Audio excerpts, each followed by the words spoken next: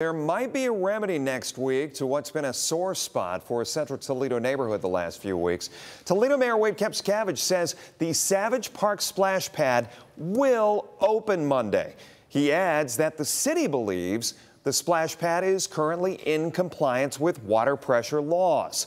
The splash pad at Savage Park still hasn't opened yet this season as the city looks to correct nearly 10 issues found by the Lucas County Health Department. Now, the health department responded to the mayor's uh, statement tonight in part saying, quote, we haven't changed our statement since this story began. Our priority remains the safety of the kids and families who want to use the splash pad.